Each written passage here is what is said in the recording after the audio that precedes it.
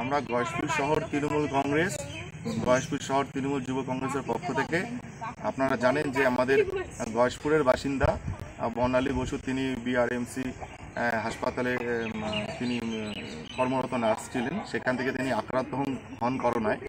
তো আক্রান্ত হওয়ার পর তার সেখানে করোনা চিকিৎসা হয় এবং তিনি সুস্থ হয়ে বাড়িতে ফিরেছেন। আজকে আমরা আমাদের দলের পক্ষ থেকে তাকে শুভেচ্ছা জানালাম এবং যেভাবে তিনি সেবা করতে গিয়ে আক্রান্ত হয়েছে এবং সুস্থ হয়ে বাড়িতে এসেছেন তার আগামী আহ, ভবিষ্যতের শুভকামনা জানালাম যাতে আগামী দিনেও সে ভালো থাকে এবং এত বড় একটা রোগের থেকে সে ভালো এসছে জন্য আমাদের দলের পক্ষ থেকে তার শুভকামনা রইল। আগামী দিনেও তার পথ চলার পথ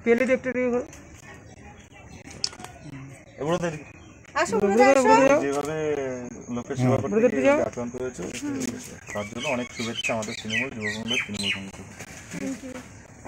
আমার পাশে থাকার জন্য থ্যাংক ইউ আমার বাড়ির লোকের পাশে থাকার জন্য।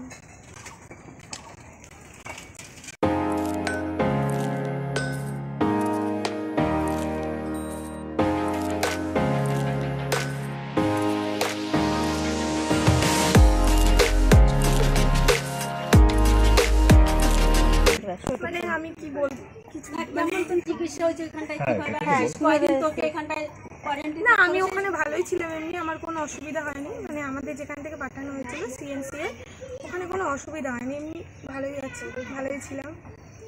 লোকে সেবা করতে গিয়ে হয়েছে এটা তো বলার নেই। আর সবাই আমার বাড়ির পাশে ছিল এটাই আমার কাছে অনেক কিছু আর কিছু আর কিছু।